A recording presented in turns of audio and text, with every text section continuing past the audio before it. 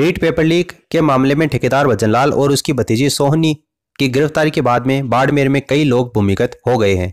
देखिए रीट के लिए खरीदे ब्रॉडबैंड डोंगल।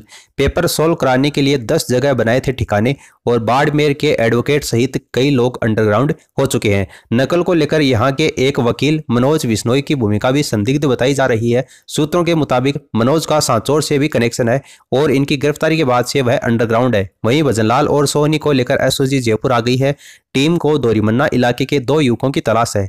इन दोनों का भी पेपर लीक मामले में अहम रोल बताया जा रहा है। जाँच में सामने आया है कि एग्ज़ाम से एक दिन पहले बाड़मेर में रीट का पेपर पहुँच गया था, लेकिन नकल के लिए लोगों ने 10 दिन पहले ही तैयारी कर ली थी। यह भी बताया जा रहा है कि ठेकेदार भजनलाल की पॉलिटिकल अप्रोच भी ज़्यादा है। पकड़े जाने के बाद में उसका ध्वंस भी दिखाया गया। इतना ही नहीं रोप दिखाने के लिए बड़े नेताओं के फ़ोटो भी शेयर करता था।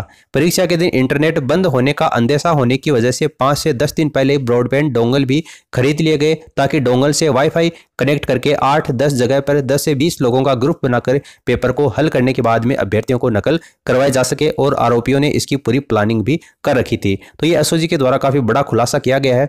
आप लगातार हमसे जुड़े रहिए। आगे भी कोई लेटेस्ट अपडेट आता है इस भर्ती से रिलेटेड तो वो आपको सूचना प्रोवाइड करवा दी जाएगी। फ़िलहाल इस वीडियो में इतना ही। Thanks for listening God bless you all